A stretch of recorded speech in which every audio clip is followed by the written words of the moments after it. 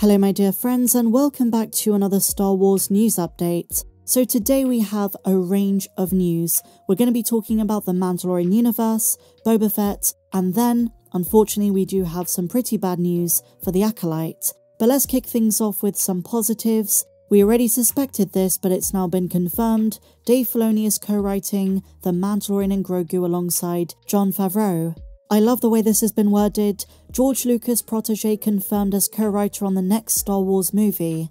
According to The Hollywood Reporter, Filoni is also going to serve as one of the film's executive producers. And fans are wondering one thing if it's Dave Filoni working on another Mandoverse project, is he going to find some way to slip Ahsoka into it? I really doubt it. They're holding off on the Peridea storyline until the second season of that show, not the Mandalorian and Grogu movie, but I could be wrong.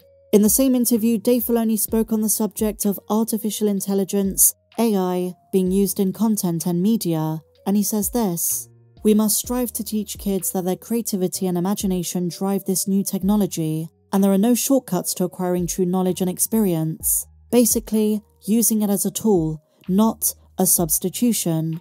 Now, it's interesting he says this because generally I agree with the sentiment, but this is kind of contradictory to what Disney is doing. Staying in the Mandoverse, my dear friends, we now move on to Boba Fett. Another major update, this time concerning Temuera Morrison. Today we need to clarify and debunk a few statements that have been making the rounds a couple of days ago. I posted a video where we spoke about comments made by Temuera Morrison at Fan Expo in Chicago, and there wasn't any footage to go along with it so we couldn't verify the truth. Basically what was said was this, Temuera Morrison spoke about if he was going to be in the Mandalorian and Grogu movie, and apparently he flat out said no, he'd not been contacted by Disney or Lucasfilm. Well, apparently, my dear friends, this was not true. It was conflated, misconstrued, and badly reported, so it's time to make things right. The amazing folks and good friends of this channel, Boba Fett Fan Club, decided to do some investigating they asked various fans in attendance, and we have something of a clearer picture. Good news for Boba Fett fans. It turns out Temuera Morrison did not say that he's not going to be in the movie, and instead, he acted very coy. What he was referring to when he said he'd not been approached was for Book of Boba Fett Season 2, which comes as no surprise. So let's take a look at what was said. Fact check. Thanks to some investigating by our friends at Boba Fett Fan Club, it appears Temuera Morrison was misquoted during a recent panel appearance at Fan Expo in Chicago. Here's what we know. When questioned about the Mandalorian and Grogu movie, he played coy and declined to comment if he was involved. This is extremely different to saying no, I've not been approached. And apparently, my dear friends, he did mention he was originally set to appear in The Mandalorian's fourth season before it was then redeveloped as a Jon Favreau movie. This is massive, and the opposite of what was reported the other day, because from this, we can infer that he probably is going to be in the movie. If he was originally in the script for The Mandalorian Season 4, which was then changed to The Mandalorian and Grogu, then there's a very good chance they kept in the Boba Fett scenes. And remember, guys, there were reports Temuera Morrison was filming for something very secret. He cancelled a bunch of convention appearances. And then Temuera Morrison says he's still waiting on the call regarding season 2 of Book of Boba Fett, but not that he hasn't been approached for the Mandalorian and Grogu movie. So forget what was said the other day, we were all kind of duped by some really bad journalism and they made it sound convincing. Because we didn't have any video footage to show us what Temuera Morrison truly said, based on previous track records, we all just went along with it. But I guess the lowdown is this. Great news, it sounds like there's a good solid chance Boba Fett will be back. And so now, some pretty insane news for the Acolyte. The situation for the Acolyte after its cancellation just got worse.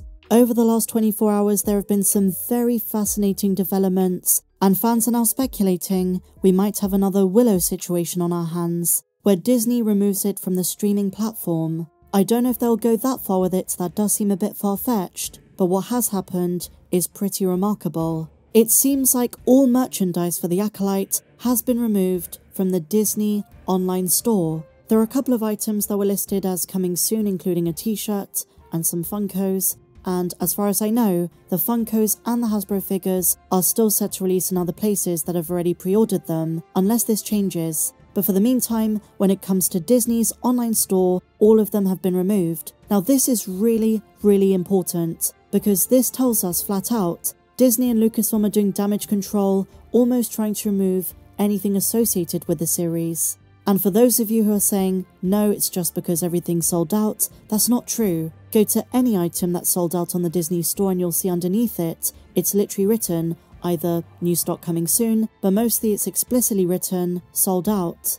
So in this instance, upcoming merch for the Acolyte is no longer going to be released. And speculation is already emerging they're going to remove the show from Disney Plus. For those who will manage to find some of the toys released for this show, they're going to be pretty valuable and limited edition. But it's an unprecedented development that Disney is trying to make people forget about the show's existence. Are they embarrassed by it? Because even as recent as a week ago, outlets were saying, well, The Acolyte didn't perform well, but we might still see a second season. And the second development is that Star Wars Insider issue number 227, which was Acolyte themed, coincidentally released a day after the show was cancelled. Now, this was pre planned months and months in advance, they couldn't stop it, they weren't going to pull it from releasing, but it's just bad timing. But who would have thought it? The Acolyte's merch is being pulled. Now, as you guys know, the cancellation of The Acolyte, which was massive news a couple of days ago, has brought up even more questions. And one of them, that came from Decider.com, is worth discussing. The Acolyte's cancellation begs the question what do audiences even want out of a Star Wars show?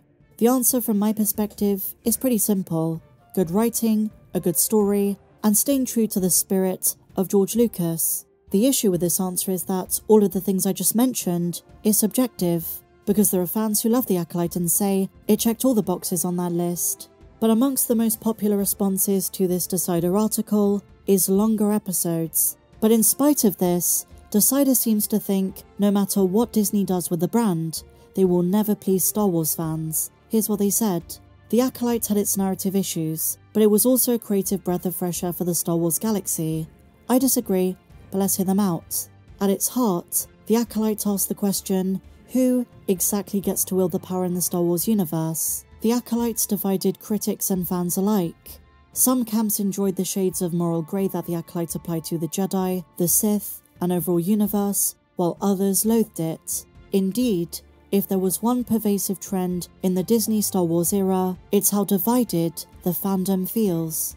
They say, I often wonder what exactly people want out of a Star Wars show. Do we want non stop Baby Yoda and his buddy the Mandalorian, nostalgic fan service like the retcon heavy Obi Wan Kenobi, spin offs about popular side characters like the Book of Boba Fett, live action versions of the beloved animated series? A nuanced and brilliant piece of art made by and for adults like Andor, whatever Skeleton Crew is going to be, all of the above, or none of the above. So here's the thing there are so many misconceptions this article has wrapped itself up in. Star Wars can have a plethora of themes and genres. It can have tons of fan service or none of it, but don't conflate those individual things with what makes a show good. It's very simply, and always has been, the quality of the story and the characters. It doesn't always have to be the classic hero's journey, and the problem with the Acolytes wasn't that they were glorifying the bad guys. Recent shows lack the depth they don't make these characters interesting enough for us to be invested, and as a result, the story suffers, the writing often feels very shallow, and even at times in these 20, 25, 30 minute episodes, sometimes they feel padded out, and on the other end of the spectrum, sometimes they're rushed. It isn't about do Star Wars fans want more Grogu, more Mandalorian, or more prequel stuff. It all comes down to the writing and directing quality. It's easy to say this without giving examples, so I'm going to give you an instance that seems very banal, very mundane, but it just shows you a small glimpse of the kind of things I'm talking about. It's the small differences. So let's take my favourite show, Andor Season 1. I'm sure Season 2 is going to be great, but so far, it's the first season of Andor that is the best written. For a moment, my dear friends, forget Cassian, forget Luthen, forget Mon Mothma and Maarva, forget the main characters. Let's take a look at two side characters who stand out even though they didn't have as much screen time as the rest. Vel Sartha and Cinta Kaz. Their relationship, despite only being on screen very briefly four or five times, has so much complexity, ambiguity, and layers to it. There wasn't much exposition, but the way the dialogue was written told you everything you needed to know about their relationship and the kinds of characters they are, and why they matter to a story that is so focused on sacrifice made by individuals against a large imperial dictatorship regime. Think of Cinta, deeply committed to the rebel cause, driven by personal trauma, the loss of her parents other hands of the Empire, an intense single mindedness that made her such a formidable fighter. But she was also in love, and she had to make those tough choices. How much does she give to her own relationship, and how much does she give to the cause? She prioritizes the mission above even her own personal relationship, and it highlights the cost, on a human level, of what it took to start the rebellion. Vel, on the other hand, portrayed as a leader that is torn between her responsibilities and her love, from a more privileged background, being in Mon Mothma's family, but choosing to fight for the rebellion, showcasing tension between her past life and current commitment. Vel's struggle with the harsh realities of the rebellion, especially when it concerns conflicts with her own feelings, adds to that complexity. And we got all of that, all of the dilemmas these two amazing characters face, from such brief bits of dialogue. That's good writing.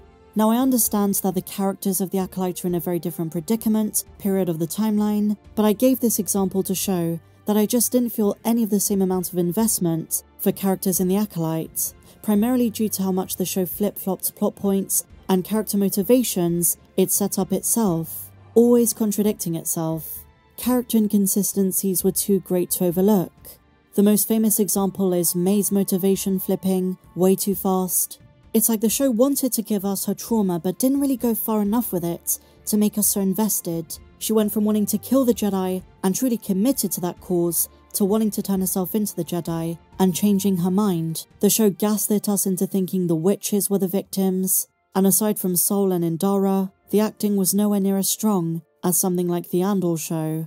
If the same effort that Tony Gilroy, Beau Willimon and the other creatives on Andor was given to some of the other shows, I think we would be in a very different situation. What do you guys think?